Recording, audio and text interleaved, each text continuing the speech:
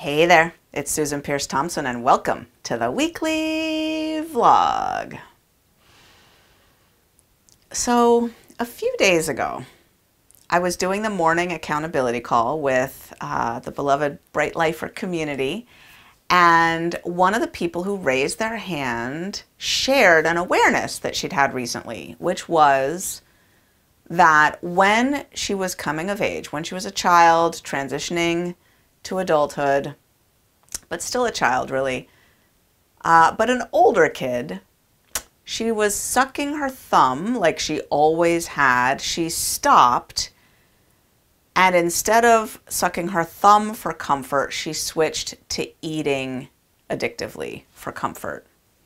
And she looked back on her history and her trajectory, and it really seemed like a swap at that point that she went from using her thumb as a source of comfort and relief and soothing to using food as a source of comfort, relief, and soothing. And I think she said she was about 10 years old. And as she was sharing this with me and with our community, explosions of relating were going off in my head. And I was thinking, oh my gosh, me too oh my gosh, why do I never think about this? Oh my gosh, why do I never talk about this?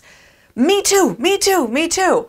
And as a matter of fact, I sucked my thumb until I was 13 years old. 13 years old. She went through the whole litany of the impact, right? Like how her thumb pressed out on her upper teeth and caused a big orthodontal issue, and how she had to have braces, and her mom paid for them, and that really it was the not wanting to let her mother's money go to waste that made her stop sucking her thumb. And I thought, oh, yeah, that didn't do it for me. Um, I mean, I did get braces on some sort of scholarship. There was some sort of like um, poor people's uh, uh, orthodontic care that you could like apply for, and we got it because we were living kind of at the around the poverty line. Uh, and anyway, so I got my orthodontic care cheaply, but but they made me stop sucking my thumb, or they tried. And what they did was they glued these uh, spikes onto the backs of my two front teeth. And it didn't stop me. I kept sucking my thumb with spikes on the back of my two front teeth. And I just got like little vampire piercings on the back of my thumb, little, uh, little callousy, scabby, bloody puncture wounds right there that that just kind of hardened and I just kept sucking my thumb. I mean, it wasn't that comfortable, but it was better than nothing and I kept doing it. Um, even through headgear, I'm one of the kids who had braces and then headgear all over like like a helmet kind of thing on my head with straps here to pull my teeth back cuz my my buck of my two front teeth, my buck teeth were so pronounced that they had to pull them back. Yeah, I didn't stop sucking my thumb until I was 13. For me, what did it was getting my period.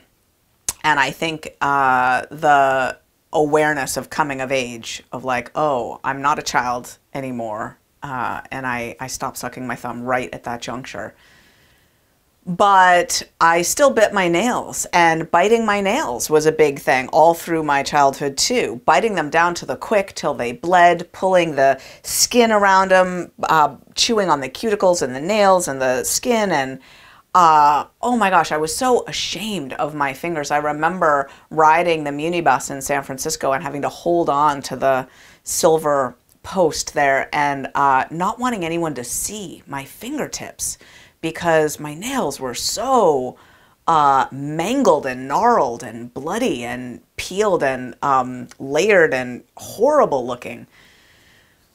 Oh, it was not till a lot long later that I quit biting my nails. And still today, I have a nail that I will bite sometimes and um, shred it up and, you know, get my finger in my mouth and really chew on it. Rarely, but sometimes I will.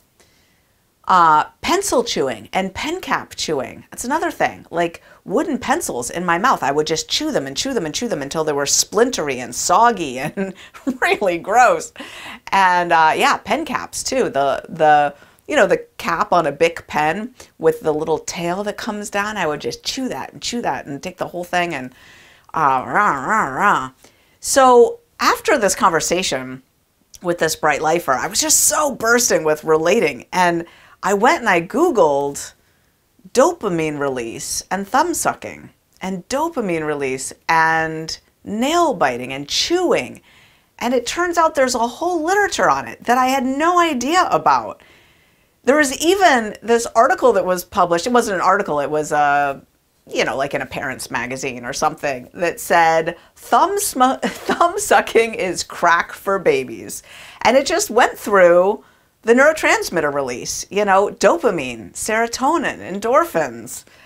I did look through the uh, scientific literature and I did not find anything about dopamine downregulation, which doesn't actually surprise me because what we typically see is that even things that stimulate the nucleus accumbens and the reward centers of the brain with dopamine, if they're at biological levels, if they're at typical levels that someone would experience in the course of a life, like sucking a thumb or having sex with a partner, those levels of dopamine tend not to cause downregulation. It's the supraphysiological levels. It's the uh, donuts or pornography uh, that cause downregulation, right? The the exposures that are beyond what we what you would experience in the wild, right? That's what causes downregulation. So I wasn't surprised not to find any articles on downregulation. But in addition to just dopamine and serotonin release, there was all this literature on the reduction of anxiety and the providing of comfort and the slight suppression of the amygdala, right, the fear center, and and um, just it's so interesting to me how we find what we can. We use what we can when we're babies and children to self-soothe, to release release anxiety, to get ourselves what we need, right? They're tools. All these things are tools. We're self-medicating. So I offer this for a few reasons. One is I'm just curious if you can relate, right? Like I think that thumb sucking as a precursor to food addiction is a really interesting link, right? And it's also in the mix of why I recommend not chewing gum. Of course, there's artificial sweeteners in gum, unless you're getting right the the Turkish like hard as tree sap gum that, that really is not sweet at all. There is gum that's designed just to improve your jaw through mastication. And there is research that chewing is really important and helpful physiologically. It's really helpful and it releases all kinds of good things. It um, uh, chewing is, I mean, I've been talking about it lately as something that releases GLP 1, which is what those new weight loss drugs release, right? Mastication is very important.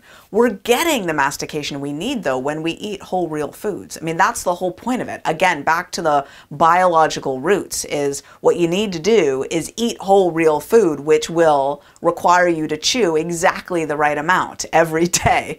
Uh, so you don't need to chew extra, but I recommend not gum chewing in part because I think it's important to break that oral fixation. We don't want to be, as adults, relying on these crutches where we feel like we need to have something in our mouth that we're um, either sucking on or chewing or frankly destroying with our mouth in order to be comforted, to feel okay, to be soothed when we let go of those crutches, it opens up a space that allows us the opportunity to really get curious and ask ourselves, what do we really need in that moment? Do we need connection? Do we need some sort of comfort? Do we need to address something that's causing anxiety in our immediate environment? Maybe we need to start working on a project that we're procrastinating on. Maybe there's a hard conversation we need to have someone in our life and that's causing anxiety, right? If we don't have space to feel whatever it is we're feeling, we're depriving ourselves of the opportunity to take the corrective measures to really move forward in life. And so continuing to have something in our mouth at all times to gnaw on, to suck, to, to, to worry over is counterproductive to a life of real recovery from food addiction, from um, even if you don't identify as a food addict, just as a human being, as an adult, right? I mean, we are we are mammals, and yet we also have been endowed with the incredible ability to self actualize, to strive, to be yet more than we are today, and the thirst for that. So, oh my gosh, um, there's one other thing I wanted to mention, which is that similar to this, there's research that came out a while back when the video game craze was taking off and screen time was increasing just that clicking a mouse, just the movement with the forefinger, and I'm sure with the thumbs, with the texting, right? Just those uh, mandible movements cause dopamine release in the brain. Again, it's so interesting how we will, as a human species, just find and gravitate toward whatever provides a little bit of ease. And yet, there are better ways, right? And finally, I just want to wrap up by sharing another lesson that I've gleaned from all of this, which, which has to do with our story, right? Our ability to look back at how our food issues developed, or whatever issues, how our issues developed, and sometimes miss a key piece of the puzzle maybe because we're in denial, maybe because we just haven't looked hard enough, or maybe because, which I think is the is the case for me in this situation, we've just gotten used to telling our story the way we tell it, and there's elements we've left out. And so when someone brings something up that we're like, "Oh yeah, I relate to that too." It gives us a chance to cast a wider light on our history and remember all the different ways that we relate to each other, right? People who are gravitating toward bright line eating share a lot in common. And so I released this vlog so that you can ask yourself and look back at your history. Oh, yeah. Do I have a history of, you know, sucking on lollipops or needing to, you know, suck on or chew hard candy or uh, I mean, obviously the sugar there would be something else you were looking for in that instance, but there's no sugar in lead pencils and there's no sugar in Bic pen caps. Um, yeah, so I just invite you to look. I know people in my life who are in long-term recovery who still are struggling with the skin around their fingertips and having to wear gloves at night and really take care of themselves so they don't keep destroying their fingertips, right? Oh, God bless us. God bless us all. Yeah, it's so interesting to look at the ways that uh, that we're similar. And if you don't relate to any of this, that's okay. You know, maybe come back and watch next week's vlog, and maybe I'll hit it out from out of the park for you next week. But uh, I suspect there's going to be a fair number of people that can look back in their history, maybe you, and say, "Oh yeah, I did that as well." And uh, as always, we have the opportunity today to ask, what am I really looking for? What kind of comfort do I really need? Where am I being called to grow and stretch? And how can I get used to tolerating just slight moments of discomfort so I can be curious and find out where I'm really needing to go next? That's the weekly vlog. I'll see you next week.